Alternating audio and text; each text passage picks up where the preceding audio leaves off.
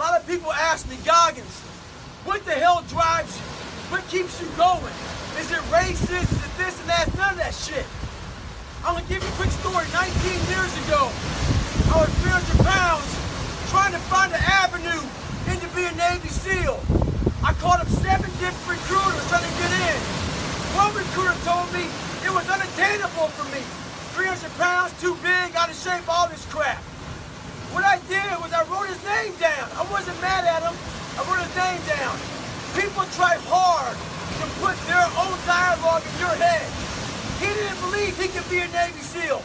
So he's trying to put that crap in my head. Write those names down, those people, and the unattainable for them. Once you attain it, go back and tell them how you did it.